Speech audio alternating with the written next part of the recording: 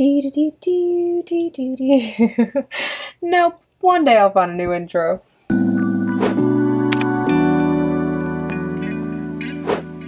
Good morning, reptilians. Welcome and welcome back to the channel. Just heads up in advance, I decided to do this on the 1st of July at nighttime. And so for the next few days, all my neighbors are going to be shooting off fireworks nonstop. So if you hear explosions in the background, it's just that time of year, I guess. This week, we are doing a video all about things that I have learned, opinions that have changed while keeping reptiles. So this isn't necessarily videos like I've done in the past where it's like mistakes that I've made because these aren't necessarily mistakes. They're just opinions that I had at one point that have now changed. The reason I'm doing this video is because occasionally you may be watching a video and I may say something in a video from two years ago and then say something different in a video from a week ago. And most of the time that's just because reptile care changes changes, and that's okay. We should learn and grow with information as it becomes available. Before we get started, this video is sponsored by the Dubia Dude, so make sure to stay until the end of the video to find out how you can save 10% off of your entire order at thedubiadude.com. Let's get started. So the first one on this list is no loose substrate. So for a very long time, when I would make care videos, when I first started, this was three years ago, over three years ago, I was always very hardcore. I don't believe in loose substrates. I think in those early videos, I would say things like, if you want to use loose substrate, you can, but like, I don't believe in loose substrate. My opinion of that has drastically changed. I still don't believe in calcium sand. Don't get me wrong there. Still don't believe you should use calcium sand. My opinion widely changed for that over a small amount of time. So the first step was getting a crested gecko. Crested geckos do so much better on loose substrate than they do on things like paper towels because it holds humidity. They love bioactive tanks. And I realized how much crested geckos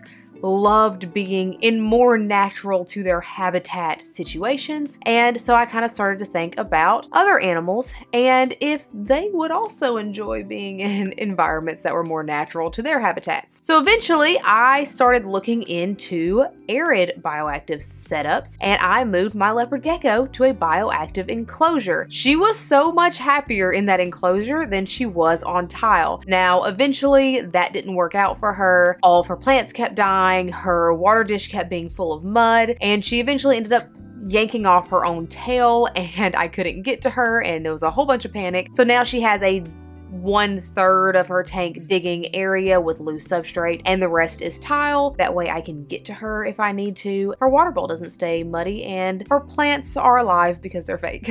but eventually I would love to go back bioactive for both my leopard geckos because bioactive tanks are fantastic. It encourages so much enrichment, so much natural behaviors like digging and things like that. And because of things that you guys have pointed out to me about tile and possible joint health issues, things like that, I'm actually considering going bioactive for Zaz and getting rid of the tile. So my thought process on the whole loose substrate situation has changed drastically thanks to bioactive tanks. Next up is leopard gecko UVB lighting. When I very first started with all this, UVB lighting was not recommended for leopard geckos. It was even resources out there that said that lighting for leopard geckos, especially albino leopard geckos, could cause them a lot of pain and discomfort, and you shouldn't put lights at all in your leopard gecko's tank. On top of Perseus's tank is just a very small UVB bulb. I know using UVB is debated since he's nocturnal, but he doesn't seem to mind it at all, and I guess there are some good benefits to it. Three years is a long time in the reptile community, and that opinion has greatly changed across the board and with my own pro thought processes. So when I first started making leopard gecko care guides, I would always say that they do not need any kind of light. They just need to know their day and night cycle and all that jazz. But my thought process on that has changed. I have two leopard geckos. Both of them have UVB lighting, and I really feel like it makes a difference. These guys are crepuscular, not nocturnal. That was another big debate in the reptile community when I very first got my leopard geckos. Are they nocturnal? Are they crepuscular? And the consensus is now they are crepuscular and that they are getting access to UVB light in those early morning hours, those late afternoon, evening hours. I am not and have never been the you shouldn't do these things, you should only do this one way. And that's why when I do care guides and stuff, I try to show lots of different ways to do things. But I think that the benefits of UVB lighting for leopard geckos are clearly there. So I definitely recommend giving your leopard gecko UVB light. Next on the list is my opinion on beginner reptiles. So again, when I first started all this, I was very, these are super easy beginner reptiles. These are reptiles that you should start with. If you're just not getting into reptiles, these are easy beginner reptiles. So if you're watching this video, the odds are that you're about to get your first reptile and you are researching which reptiles are the best for beginners. But today I want to talk about the top five reptiles that are best for beginners and also my opinion on that has changed. I, for the most part, feel like most reptiles can be beginner reptiles. The best beginner reptile is the reptile that you want. Most reptiles live a very long time and you're making a commitment to that animal that you're gonna care for it for its whole life when you're getting it. So it's best to get whatever it is you want. I feel like it's much worse to start off with a leopard gecko because someone told you that you needed a leopard gecko, as opposed to starting off with an ocelot gecko because that's your dream gecko. Now, there are some exceptions of this, and I do make comments about this in my best reptiles for small tanks video from a couple weeks ago. I made a comment about the electric blue day gecko. The reason for that is simply just because it's very, very difficult to take care of. Other than a very small handful of things that that are just insane to take care of unless you have a good understanding of humidity and temperatures and how those things affect each other and plants and taking care of plants and tanks. Except for those handful of animals that are like that, that are very specific like that, I feel like most animals can be beginner reptiles if you are willing to put in the research. You have probably heard me say this in multiple videos recently. But in past videos, I definitely made a lot of comments about these are animals that you should start with and things like that. Again, if you want to start with an easy reptile because you want to get your feet wet in the world of reptiles, go for it. But just don't ever feel forced to start with a certain animal because so-and-so said to. Do what makes you happy.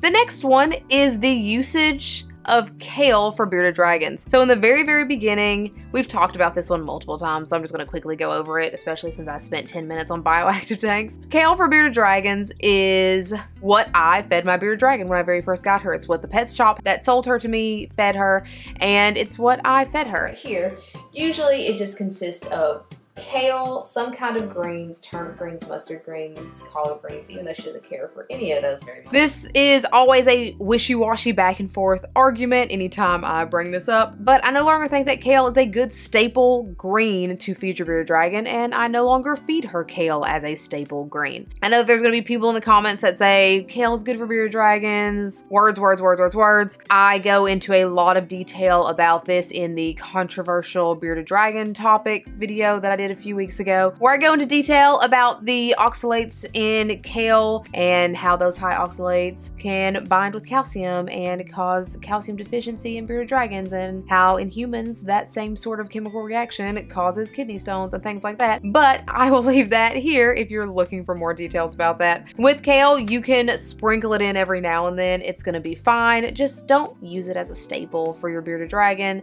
I just kind of avoid it altogether with Zaz now. And the last one on this list, which is also going to be in that controversial Bearded Dragon care video, is water bowls in Bearded Dragon's tank. This opinion that I have has changed multiple times. It has gone back and forth. As you can see, she doesn't have a water bowl because she will not drink from a standing water source. I would highly suggest putting a water dish in your bearded dragon's tank. I do plan on putting a bubbler in her water dish so that she can hopefully see and drink out of her water bowl. Always just take a spray bottle and just mist the tops of their salads and that's going to give them more water. You could also, I've kind of just settled in the middle. Bearded dragon water dishes, for those of you who don't know, I'm sure most of you guys do by now. The big debate is whether or not it's okay to have those in the tank. When I very first started with my bearded dragon, I kept a water dish in her tank and I refused to take that water dish out because in my head, bearded dragons have to have water because they're living things, so they have to have water to survive and they're gonna go over there and drink that water. And it never caused an issue. It never caused any sorts of humidity issues or anything like that. As I was looking into more and more research about that, there were multiple videos and articles saying bearded dragons don't need water dishes, but I started reading about how it could cause humidity issues and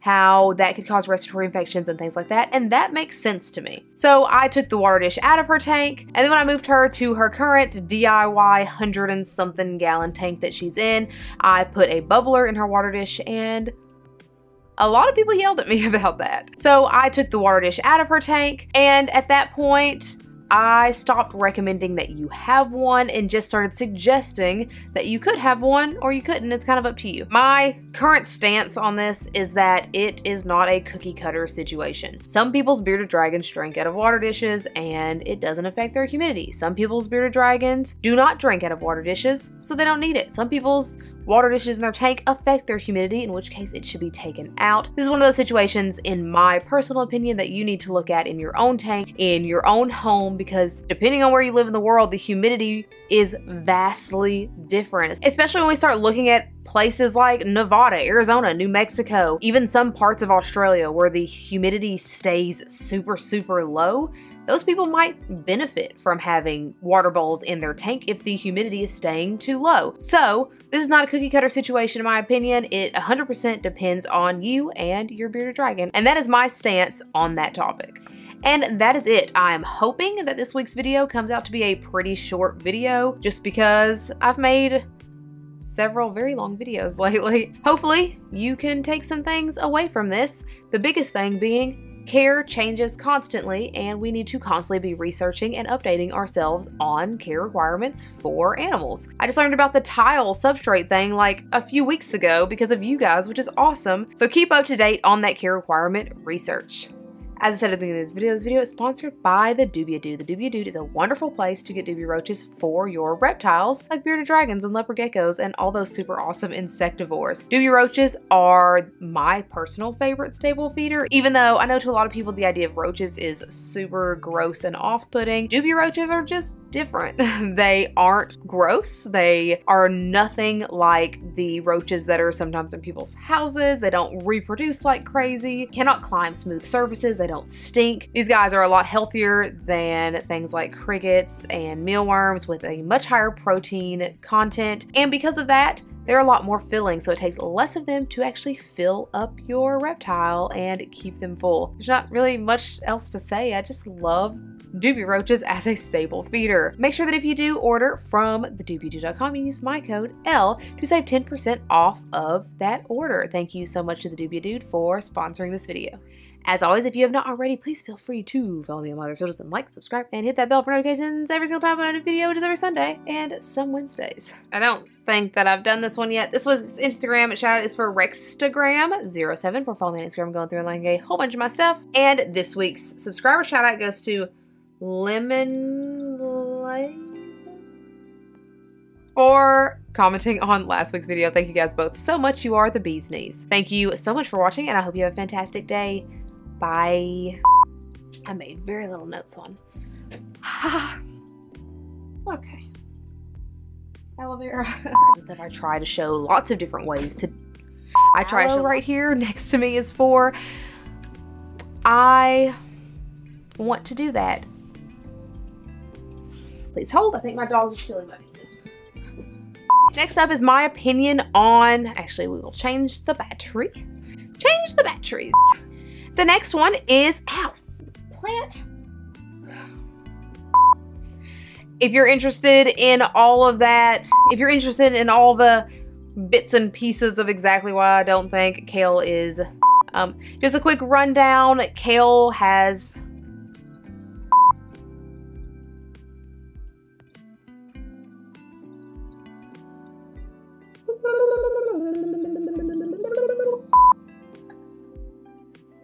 This hurts.